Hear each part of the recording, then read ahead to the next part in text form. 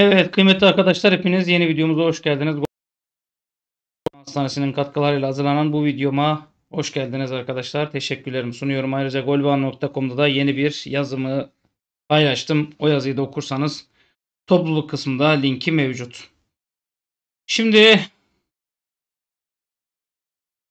olaylı Trabzonspor Fenerbahçe maçı için flash gelişme diye başlayayım. Geçen sezon oynanan Trabzon deplasmanında maalesef ciddi saldırıya maruz kaldığımız maçın sonrasında 7 Fenerbahçeli oyuncu hakkında karar verildi. Biliyorsunuz e, çok ciddi sıkıntılar vardı. Sabahın haberine göre 17 Mart 2024 tarihinde Papara Park'ta oynanan maç sonrasında çıkan olaylarda sahaya giren Trabzonspor taraftarı tarafından e, taraftar hakkında başlatılan soruşturma sürerken 3 Fenerbahçeli futbolcu için sahaya giren taraftarlardan kendilerini koruduğu gerekçesiyle takipsizlik kararı çıktı. Ayrıca 4 futbolcu için basit yaralama suçundan savcılık uzlaştırma bürosuna dosya gönderildi. Taraftarlarla futbolcular arasında uzlaşma sağlanamasa 4 futbolcuya basit yaralama suçundan dava açılacak demiş. Ya şunu söyleyeyim. Hani yanlış anlamayın. Ee, o anda futbolcular orada olmalı. Taraftar tribünde olmalı. Hani haneye tecavüz olmuyor mu? Yani birisi birisinin alanını basınca haneye tecavüz olmuyor mu? Ben sadece bunu söylüyorum. Ha, ülkede adaletin işlemesi için ne lazım? Ülkede adaletin işlemesi için adaletin herkese adalet olması lazım. Yani X şahsına 3 yıl veriliyorsa Y şahsına da 3 yıl verilmesi lazım. Yani inşallah adaletle hükmederler. Şimdi Trabzonspor demişken Mustafa Çulcu e, Trabzonspor Fenerbahçe maçına Kadir Sağlam atanır diyor. Mustafa Çulcu 2-2 biten Samsun Spor Fenerbahçe maçının ardından da bazı değerlendirmelerde bulunuyor. Diyor ki çaresiz MHK bir önceki müsabakasında ciddi hatalar yapan Acemi Muhammed Ali Metoğlu'nu bu maça atadı. Çaresiz MHK değil. Fenerbahçe'ye bile bile bu operasyonu yapan MHK. Kostiç'e gösterdiği kart skandaldı. Şimdi ben Kostiç'e gösterdiği kartı anlatırken birkaç tane laba ya ben şunu söylüyorum bak. Galatasaraylı arkadaşlar kanalımızdakiler bazılarınızın Allah'ı yok. Bak bazılarınızın dini imanı, kitabı imanı, Allah'ı hiçbir şeyi yok. Hiçbir inandığınız değer yok sizin. Hiçbir şeyiniz yok. İçinizden bazıları var. Yani ne namusu var, ne ahlakı var, ne şerefi var, ne Allah'ı var, ne kitabı. Hiçbir şeyi yok. Bomboş, dünyaya kötülük için gönderilmiş, sadece yemeği içmeyi düşünen asalaklardan oluşuyor bazıları. O kadar kansız, kanı bozuk, şerefsizler var ki ha hepinizi kastetmiyorum. İçinizde dürüst olanlar da var. Diyorum ki ya Kostiç'inki sarı kart değil mi diyorum. Geçeceksin bunları. Lan şey hani sarı kartı Kostiç'in sarı kartını konuşun diyorum. Bu sarı kart mı diyorum. Geçeceksin bunları. Ya bu geçeceksin bunlar ne demek biliyor musun? Namussuzun önünde gideneyim ben demek. Ya karaktersizim diye kendi kendine itiraf ediyor. Diyor ki benim Allah'ım dinim yok diyor. Ben hani namusum şerefim ortalıkta diyor. Da de ki bir, ya bir omurgalı ol. Bir şerefli ol. Bir haysiyetli ol. De ki arkadaş Doğru. Benim işte Galatasaray'ın futbolcusuna böyle sarı verseler hakeme tepki gösterirdim de. Ulan Icardi'nin penaltı pozisyonu ben ne dedim size? Bu penaltı değil. Penaltı artı sarı kart dedim. Sizde benim kadar şeref var mı ya? Namus var mı sizde benim kadar ya? Allah korkusu var mı ya? Lan çıkın söyleyin. İrfan Can'ın hareket faul mü değil mi? Şunu söyleyin. Icardi'ye yapılsa hakeme küfür eder miydiniz etmez miydiniz? Ya yemin ederek söyleyin. Gerçi sizin yeminize de inanmıyorum ben artık. Aynısı Ennesi'ye yapılan hareket. Penaltı penaltı diye geberdiğiniz pozisyonların aynısı. Ya Icardi'ye yapılandan Ennesi'ye yapılan arasında ne fark var? İkisi de penaltı. Ya bazıları var ya sabrımızı sınamak için buradalar. Ve dediğim gibi onların değeri yok. Onlar için değer yiyip içip yaşamak. Başka bir şey değil. Ha domuzdan tek bir farkları var. Onun adı domuz bunun adı insan diye geçiyor. Aralarındaki tek fark bu. Neyse. Kostiç'e gösterdiği kart skandalda pozisyonda faul bile yok. Fenerbahçe'nin ilk golünde offside yok. Gol temiz ancak yardımcı bu pozisyonu offside kaldırdı. Bu daha büyük skandaldı diyor.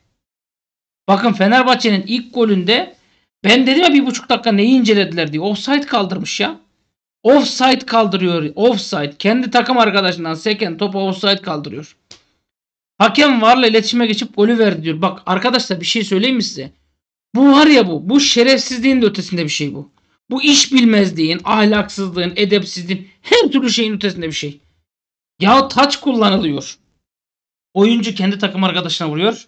Tadiç'in önünde kalıyor. Tadiç vuruyor gol atıyor. Buna offside bayrağı kaldıran kişi Ya geri zekalıdır ya şerefsizdir. Çünkü geri zekalıysa kuralı bilmiyordur. Rakipten gelen topu offside sayıyordur. Şerefsizse ulan Fener'in golünü iptal edeyim de ne şekilde olursa olsun hakkını yiyeyim diyordur. Siz karar verin. Samsun'un penaltı beklediği Amrabat'ın pozisyonunda oyuncu küçülüyor. Kolu kapalı. Penaltı olmaz. Hakem varla iletişime geçti. Devam kararı doğruydu. Hakemin maçta gösterdiği, göstermediği kartlar, verdiği, vermediği fauller çok tartışılır. Deneyimsiz hakemle futbol böyle oluyor. Samsun'un beraberlik golü öncesi Fenerbahçeli oyuncuya itme var. Fenerbahçeli oyuncuyu bozuyor. Faul olmalıydı. Tek el itmelerde var devreye girmez. Hakem faulü tespit edip golü iptal etmeliydi. Acemi hakem tespit edip veremedi. Hakemin deneyim kazanması ve toparlanması lazım. Ancak önce hakemliği toparlayacak olanların toparlanması gerekiyor. Samsun Spor oyuna çok hızlı girdi. Ön bölgede baskılıydı. İlerleyen dakikalarda kontrol Fenerbahçe'ndi. İkinci yarıya Samsun yine aynı hızda girince beraberliği yakaladı. Mourinho inadı kırıp İrfan Can'ı oyuna alınca oyunun kontrolünü Fenerbahçe eline aldı. Öne geçti. Ancak istekli coşkulu Samsun oyunu bırakmayıp puan aldı diyor. Aynı zamanda Ennesri'ye yapılan hareket. Bakın bakalım kimler penaltı diyor. Ya bakın. Ya ben diyorum ya az önceki Guru. Yani inanın tuvaletteki şeyler onlardan daha namuslu şerefli. Bunlardan daha değerli. O bahsettiğim güruhtan. Yanlış anlamayın burada birçok Galatasaraylı takipçim var benim. Hiç yani hepsine ka- kastetmiyorum. Dürüst konuşan, adaletli konuşan. Ben şunu istiyorum. Fenerbahçe'nin penaltı beklediği pozisyon. Diyeceksin ki ya vallahi de billahi de. Hani çocuğumun üstüne yemin ederim diyeceksin. İşte Icardi'ye yapasa ben penaltı değildi derdim deyin. Ben bir şey demiyorum. En nesiriye yapılan itmeye.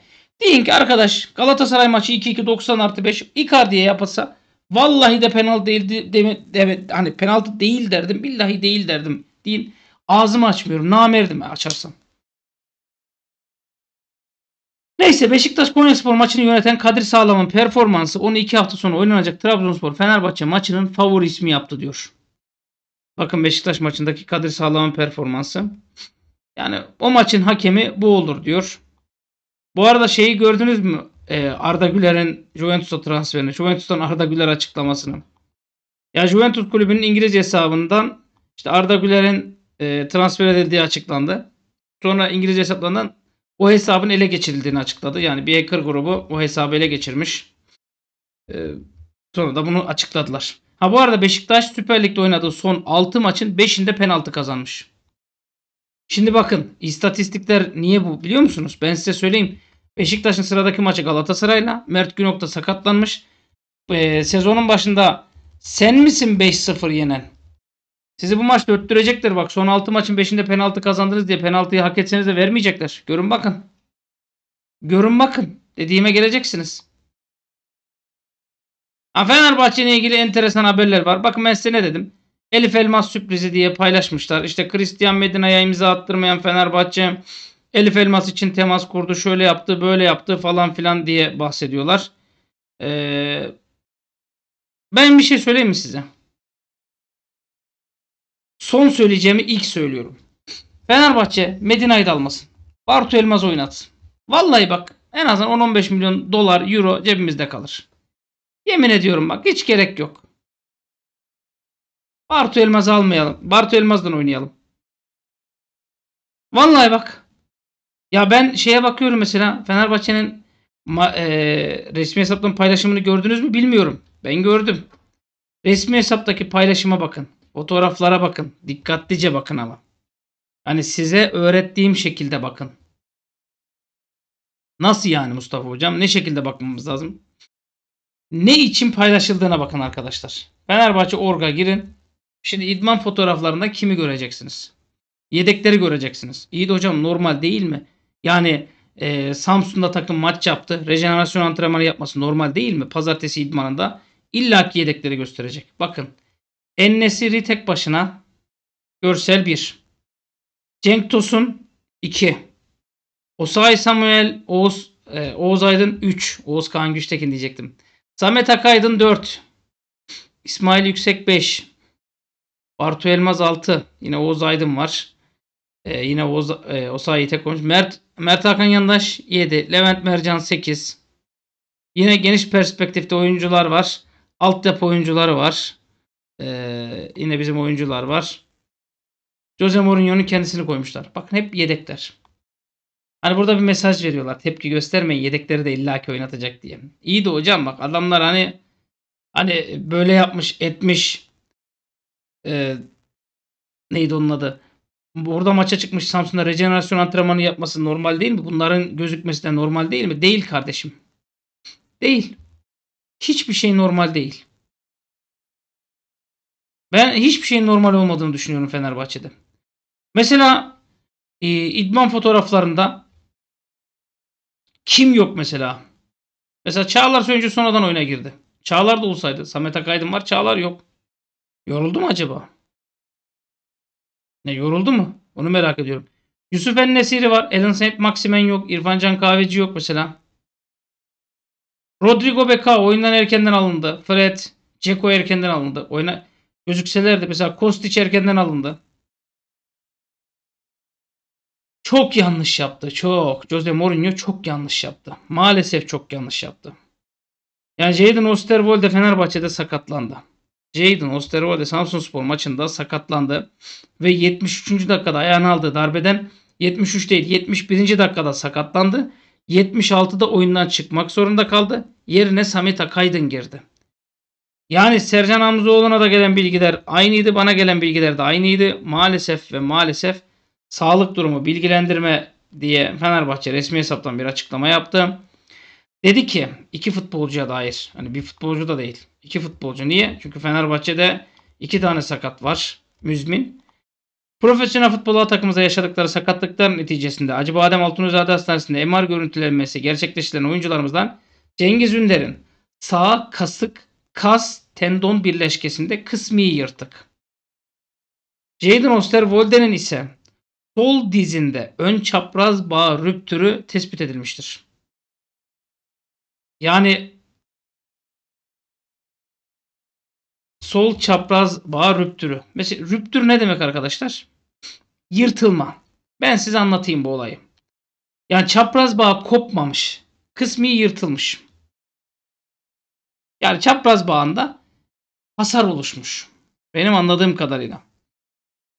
Ben e, futboldan anladığım kadarıyla konuşuyorum. Yanlış anlaşılma olmasın. Oyuncularımızın rehabilitasyon ve tedavi süreçleri başlatılmıştır diyor. Yalnız Osterwolde'yi biz AVM'de gördük. Tek başına AVM'ye gitmiş. Bir tane koltuk değneği var. Tek başına AVM'ye gitmiş. Hani nasıl bir rehabilitasyon? Nasıl bir sorumsuzluk? Bu da ayrı bir olay. Şimdi önümüzdeki hafta ameliyat olmak için Hollanda'ya gidecek diyor sevgili Yağız Sabuncuoğlu. Hani niye bu kadar erken gidiyor? 2025 yılında falan gitseydi. Haftaya kadar niye bekliyor diyeceksiniz. Kısaca arkadaşlar Jadon Osterwolde 2024-2025 sezonunun ilk devresini kapattı. Cengiz Ünder de bir müddet gece hayatında boy gösteremeyecek. O da gece hayatını kapattı. Maalesef üzülerek söylüyorum ha yanlış anlamayın. Üzülerek söylüyorum. Yani Fenerbahçe'ye Cengiz Ünder'in zararı Galatasaray kadar var. Beşiktaş kadar var. Trabzonspor'un Fenerbahçe'ye verdiği zarardan daha fazla. Ya bunları konuş, konuştuğum zaman kızıyorsunuz ama mecburum konuşmaya da. Neyi konuşayım? Allah aşkına siz söyleyin. Ya Perşembe günü al maçım var Perşembe günü. Ne yapacaksın Perşembe günü? Hadi bana Perşembe günkü maçı anlatın. Ne yapacaksın Perşembe günü? Sol bekte kimi oynatacaksın?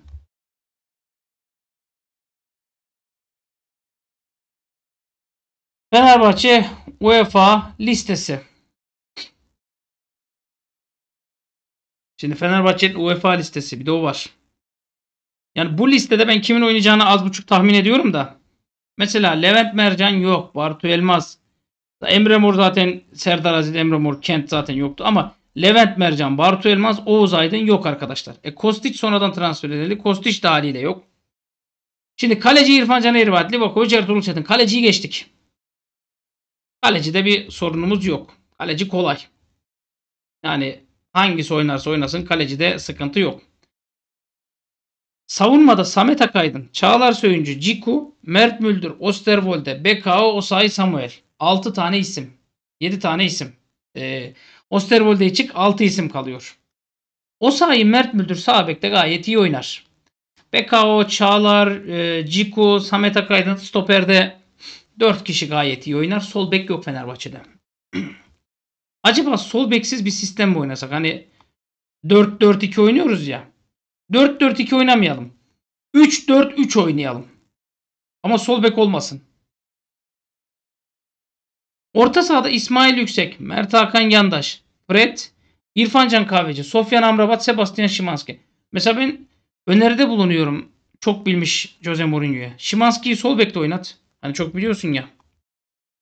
ya Forvet'te zaten Edin Dzeko, Tadic, Ennesiri, Cengiz Ünder, Cenk Tosun, Alan Saint Maximen. Bakın Cenk Tosun yok. Şey pardon Cengiz Ünder yok. Avrupa listesinden çık. Gitti. Ben üstünü çizdim. Osterwolde de yok. Bendeki duyumlara göre 6 maçı da kapattı. UEFA listesinde 6 maçta da yok. Şimdi şuradan bana bir takım çıkartacaksınız. Hani İrfan Can, Livakovic kalecileri saymıyorum. Samet Akaydın, Çağlar, Ciku, Mert Müldür, Beka, Osayi, Samuel. Hocam Mert Müldür'ün sol bek oynamışlığı da var. Solda oynatalım. Mantıklı. Yani Rashford'u Mert Müldür karşılasın. Çok zekice bence de. Orta saha İsmail Yüksek, Mert Hakan Yandaş, Fred, İrfan Can, Amrabat, Şimanski. Forvet'te Edin Dzeko, Tadic falan filan. Ben size bir şey söyleyeyim mi? Ben ee, ilk söyleyeceğim yani son söyleyeceğimi ilk söyleyeyim. Amrabat'ın Manchester United'da sol bek oynamışlığı var. Ki aşırı tepkiler aldığı mevki. Yani Amrabat'ın nefretle bakıldığı. Hocam kurun için e, Fas şubesi denildiği performans sol bekteyken oynamışlığı. Yani Portekiz'de ukalamız herhalde sol bekte Samet Akaydın ya da Yusuf Akçiçek'i yerine Amrabat oynatır diye düşünüyorum. Ha ben ısrar ediyorum Yusuf Akçiçek Samet Akaydın oynayacağına Şimanski oynasın. Valla bak sakın Samet Akaydın falan oynatmak gibi bir hata yapmasın. Yani olası bir kötü sonuçta taraftar sahaya girer. Kostic'i yazamıyoruz. Hocam böyle sakatlık durumlarında falan bir şey yapamıyoruz? Yapamıyoruz arkadaşlar. Ya hocam yapabilseydik iyiydi. Yapamıyoruz arkadaşlar. Yani böyle sakatlık durumlarında da hiçbir şey yapamıyorsun. Ee, zaten alsan bile yapamıyorsun. O da ayrı mesele. Şimdi Osterwolde'nin sakatlığı arkadaşlar e, şöyle söyleyeyim size. Bende bir duyum var. İnşallah mucizevi duyumum gerçekleşir. Kanala abone olun olmayı mühim değil ama 84.600 kişiden sorumluyum. Bendeki duyuma göre 2 ay içinde Osterwolde iyileşecek arkadaşlar. Bakın 2 ay içinde. Ha detaylı kontrolden geçecek. Bilgim dahilinde konuşuyorum. Ee, bilgim dahilinde söylüyorum. Tam net bir kopma yok. Benim bilgim dahilinde söylüyorum.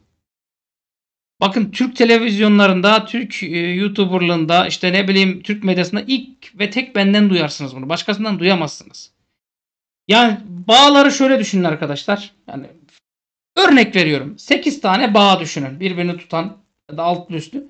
Bu 8 bağın 8'i koparsa bu çapraz bağ kopmasıdır. Ameliyat gerekir. Yapışacak falan filan sezonu kapattı demek. Ama ikisi koparsa bu ikisini ameliyatsız tedavi edebilirsin. Ameliyat yapsan da kısmen ameliyat yaparsın. Bunun iyileşmesi 4'te 1 oranında ya da 8'de e, 1 oranına düşürebilir. Yani toplamda 6 aylık bir süre ya da 4 aylık bir süre belirtiyorsan 8'de 1 oranda 15 gün ila 1 ay arasında bir süreçte bunun iyileşmesini sağlayabilirsin. Sonrasında arkadaşlar rejenerasyon antrenmanları yapacaksın. Salon çalışması şu bu derken 2 ay içinde oynayabilir duruma getirebilirsin. Yani 21 Ekim'deyiz. Zaten benim bilgim dahilinde 23 Kasım Kayseri Spor maçı var. O araya kadar 5 resmi maç kaldı. Yani bir ay sonraya kadar 5 resmi maç kaldı. O Kayseri Spor arasından sonra yine 5 maç oynayıp şeye gireceğiz. Milli araya gireceğiz diye biliyorum. Yani toplam 10 maç kaldı. Osterwolde 10 maçı kaçıracak arkadaşlar. Onun şeyi yok, kurtuluru yok. Hocam yani daha iyi bir haber gelse şöyle olur. Yok, onun kurtuluşu yok. Ama durum bu. Ha, sosyal medyadaki e, bildiriye göre Şeyden Osterwolde sezonu kapattı. Cengiz Ünder devreyi kapattı. Normalde 3-4 hafta Cengiz Ünder'inki ama eminim Cengiz Ünder'in pompa, e, şeyleri devam edecek. E, evdeki çalışmaları falan devam edecek. Muhtemelen kendini yoracak hazırlanayım diye. O yüzden Cengiz'i de siz devreyi kapattı sayın. Osterwolde'yi sezonu kapattı sayın. E biz böyle kötümser konuşalım da iyi olsun. Hep iyimser konuşuyoruz. Kötü oluyor ya. Biraz da kötümser konuşalım. Yani Ali Koç Mourinho 3 yıllık Mourinho 3 yılı kapattı. Sevgili Sercan Hamzoğlu'nun dediğine göre ki doğrudur. Hani eee Mourinho'yu kovmak için 20 milyon euro şart. Bugün Mourinho'yu gönderiyorum desen 20 milyon euro vereceksin. Ki bu adamı getirirken zaten tazminatı malumdu. Yani açıp ellerimizi Allah'a dua edeceğiz arkadaşlar. Diyeceğiz ki Mourinho aman gözünü seveyim inşallah akıllanırsın falan filan diyeceğiz. Siz de ben de eleştiremeyeceğiz.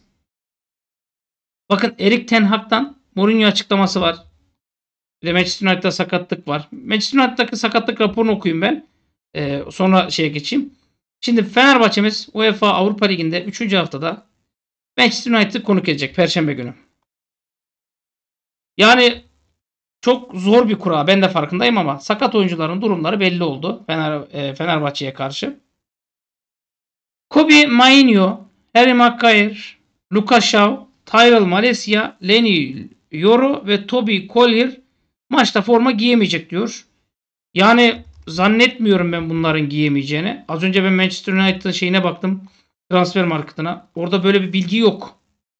Mesela Shaw sol bekleri ee, sol bek Luke oynayabilir gözüküyor. Malaysia oynayamaz gözüküyor. Acaba bir yanlışları mı var? Dedim.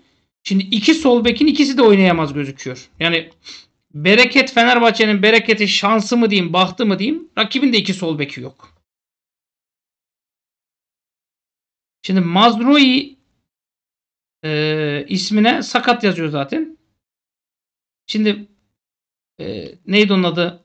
Euro zaten ikinci stoperleri. Yani en baba ikinci stoperleri. Euro'nun olmaması iyi. En azından sevindiğim tarafı o. Yani adamların az ikinci yani az stoperi yok. Az sol beki de yok. Şimdi doğruya doğru. Ha Fenerbahçe'nin de ne yapacağı zaten belli de. Mazrui bu adamların ikinci sağ beki. Onun olmaması da çok şey değil. Harry Maguire ee, bu zaten stoper. Kaçıncı stoperleri McQuarrie. Bu da bu adamların 1, 2, 3, 4. stoperi transfer market değerine göre. Ama zaten ikinci yoktu. Dördüncü de yok. Onu da söyleyeyim. Collier ismini söylüyor. Bu hangi Collier? Mazrui şey dedik. Ee, ben mi bulamadım ya? Toby Mainio, Toby e, Collier diyor. Bu Mainio arkadaşını ve Collier'ı yani ön libero olan Collier. Zaten 2 milyon euro piyasa değeri var. Yani Ugarte, Casemiro, Collier diye gidiyor. Ondan bulamamışım. Zaten bunu sayma yani. Anlatabiliyor muyum? Mainio dediği merkez orta saha 55 milyon euro. Yani iyi tarafı o. Yani uzun lafın kısası arkadaşlar adamların az sol beki, yedek sol beki yok. Az stoperi onun yedeği yok. Orta sahaları yok. Delight Fenerbahçe maçında sahada yer alabilecekmiş. E, Bruno Fernandes'e kırmızı kart cezası. O da yok. Yani az 10 numaraları da yok. Ha ben Fenerbahçe diye diyorum ki futbolculara ve Jose Mourinho'ya şerefiniz varsa bu maçı kazanırsınız. Hiç kusura bakmayın. Bu taraftara bir galibiyet borcunuz var. Ne yapacaksınız? Edeceksiniz. Şerefiniz varsa Fenerbahçe taraftarı için oynayacaksınız. Kazanacaksınız. İki hafta boyunca ya efendim işte e, şey vardı da milli ara vardı hazırlanamadık. Ulan sen Real Madrid'deyken kaç tane futbolcun milliydi? Tottenham'dayken kaç futbolcun milliydi? Kızının düğününe gittin. Ne alakası var şeyle ya? Ne alakası var? Yediğimiz gole bakın. İrfan Can Kahveci sol bekte. Levent Mercan alsaydın. Yok onun boyu 1.70. Nasıl alayım diyor.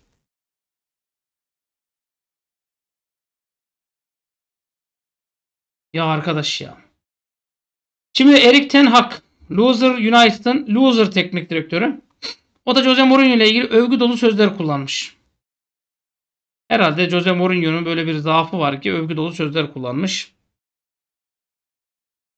İkimiz için de büyük bir maç olacak. Mourinho bir kazanan Mourinho bir kazanan pek çok kupa kazandı ve bence birçok teknik direktör için de bir örnek. Bu yüzden ona karşı oynamaktan keyif alacağım diyor.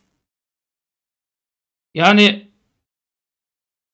Fenerbahçe St. Julius'i mağlup etti. Twente ile berabere kaldı. Manchester United ilk iki maçta Twente ve Porto ile berabere kaldı. 2 puan topladı. Yani Fenerbahçe'nin avantajı evinde oynaması, 8 maçlık periyot olması, ilk maçlardan biri olması. Ama Ceko'yla Tadiş'le çıkıp Manchester United'ı yeneceğimizi düşünüyorsak bence çok iyimseriz. Yani Edin Dzeko, Dusan Tadic. Bakın bu adamlar yorgun adamlar. Yani futbola Fenerbahçe'de nokta koymak istiyorlarmış. Geçen sezon 99 gol, Sondrota, Kadıköy herkes çok seviyor falan. Evet istatistiksel olarak kağıt üzerinde e, Dusan Tadic'in performansını bir Alex performansı gibi kabul. Lafım yok. Bakın gerçekten lafım yok. Hani kağıt üzerinde Alex performansı gibi hiç ağzımı açmam. Kağıt üzerinde. Ama biz futbolu kağıtla oynamıyoruz. Biz futbolu gerçeklerle oynuyoruz. Hani orada kağıdın önemi yok. Buraya bakmak lazım. Anlatabiliyor muyum? Mesela onu oynatamıyorsun, bunu oynatamıyorsun, şunu oynatamıyorsun. Bak ben size bir kadro vereyim mesela. Livakovic, Osayi Samuel, Ciku, Bekao, Mert Müldür sol bekte. Rahatsız oldunuz değil mi? Tamam. Livakovic, Osayi, Bekao, Ciku sol bekte Samet Akaydın. Daha rahatsız oldunuz. Yusuf Akçiçek daha rahatsız. Amrabat daha da rahatsız olmanız lazım. Ama mantıklı mı? Bir yerde mantıklı. Aslında 4 tane stoperi varken Fenerbahçe'nin üçlü savunma deneyebilir mi diyeceksiniz. Niye? Hani o sahayı sağ açıkta, Mert Müldür'ü sol açıkta deneyip orta sahada isimleri yapar dersiniz. İşte hani e, Amrabat, Fred yapıp ne bileyim ileri üçlüde işte Maximen, Ennesiri, İrfancan Kahveci falan yaparsa işte daha mı şey olur diye. Arkadaşlar ben bir şey söyleyeyim. Maceraya gerek yok. Ha 4-4-2 yapabilirsin. İsmail Fred yapabilirsin orta sahaya ama o topa da girmez bizimki. Ben Amrabat'ı solda oynatacağını düşünüyorum. Allah yardımcımız olsun ama dediğim gibi 20 milyon euro vermen lazım diyor. Biz yani Mourinho'yu tavlayacak mıyız? Ne yapacağız bilmiyorum. Ben Ali Koç'un yerinde olsam ne yapardım biliyor musunuz? Çok düşündüm bunu. Ben Ali Koç'un yerinde olsam Aziz Yıldırım'ı arardım. Elini ayağını öpeyim derdim. Gel. Gel. Ne yapıyorsan yap. Gel. İster ekranların karşısına çık bana küfür et. ister başka bir şey yap. Gel bu seneyi birlikte kurtaralım. Sana namusumun şerefimin üstüne yemin ediyorum. Al sözleşme de imzalıyorum. Şampiyon olalım ya da olmayalım. Olağanüstü kongreye götüreceğim. Takımı derdim. Aziz Yıldırım'dan yardım isterdim. Ne diyorsan gel derdim. Hocam işte Acun Ilıcalı hükümetten görüşsün bilmem neyle görüşsün.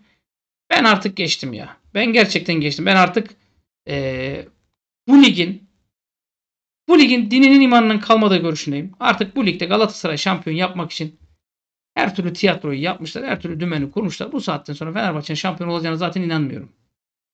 Ama kardeşim keyif veren futbol izlemek lazım. yapmak lazım.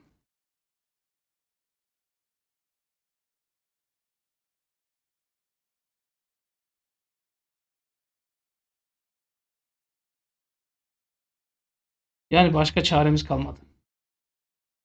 Patır patır adamların dökülüyor. Patır patır. O sakatlanıyor, bu gidiyor, şu yapıyor, bu yapıyor. Artık bir şeyler olması lazım. Ve ben yine söylüyorum. Buradan ya birlikte kurtaracağız ya bir ya Levent Mercan, Kostić ikisinden birisi Avrupa listesinde olsaydı biz bugün farklı çık seneden aşağı geçirmiş. Öbürü zaten şey.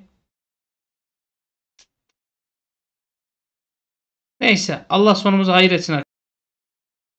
Ee, Genç FB Amigos'u Yücel demiş ki Galatasaray'ın bay geçeceği haftada biz galibiyet alınca puan farkı 5'e düşecek. 5 puan da çok büyük değil demiş. Hani öncesi sonrası var açıklamanın. Sadece bu cümleyi söylemiş olsa tam küfürlük cümleler. Dalga geçer gibi. Ya sen Galatasaray'ın bay haftasını, bayan haftasını ne yapacaksın? Ha bendeki bir bilgi var Ali Koç'tan Mourinho eee bir toplantı gerçekleştirecek. Ama bu toplantı Manchester United maçından sonra olacak diye. Eğer Manchester United maçından sonrasını bekliyorsak zaten biz boş kapatalım dükkanı. Biz dükkanı kapatalım. Niye bekliyoruz ki? Niye, niye bekliyoruz?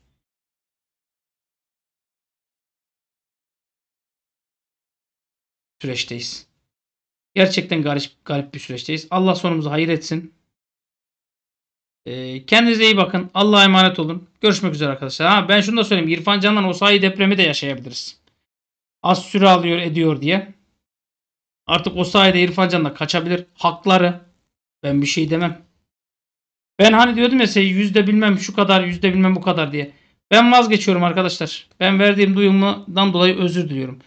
Ben İrfan Can kahveci olsam şu saatte sonra kaçar giderim. Umurumdan olur ya?